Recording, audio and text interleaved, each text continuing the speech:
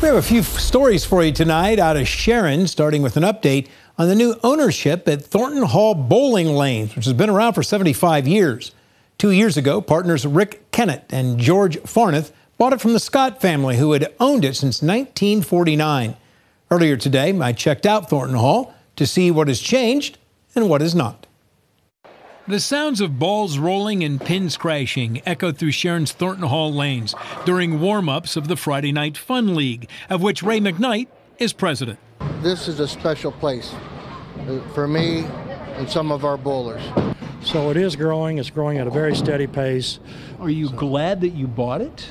Uh, we are. Two years ago, Rick Kennett and George Farneth bought Thornton Hall and the nostalgia that went with it.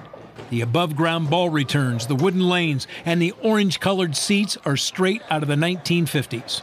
So, in terms of nostalgia, it's very hard to find another bowling alley that stacks up to this. But they've also spent money and made changes. $100,000 was spent on new pins, an oiling machine, and an elevator.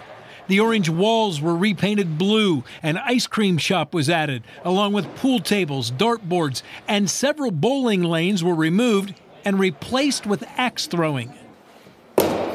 It's worked out pretty good so far. We've had a lot of people come here and throw axes, a lot of groups. Most of the time, women are better at it than men. And all the changes have made a difference. When we first took this over on a Saturday, for us to do $50 was a big deal for the whole night.